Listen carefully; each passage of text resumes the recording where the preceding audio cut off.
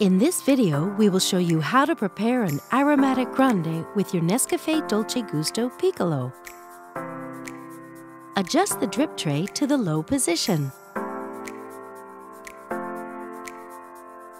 Place your cup.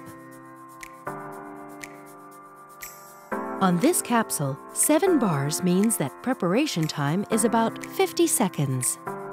Lift the locking handle.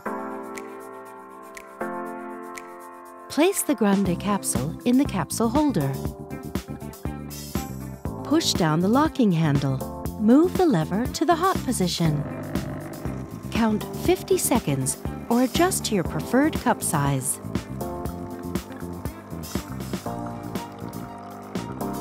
Move the lever back to the stop position.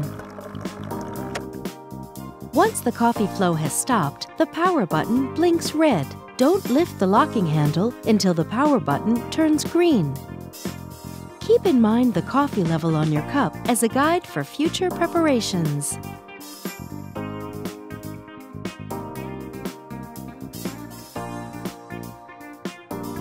Remove the capsule.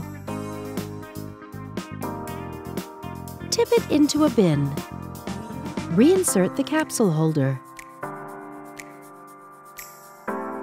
And that's it. Enjoy your generous and round grande. With Nescafe Dolce Gusto, you can enjoy a wide range of delicious coffees, teas, and hot chocolates.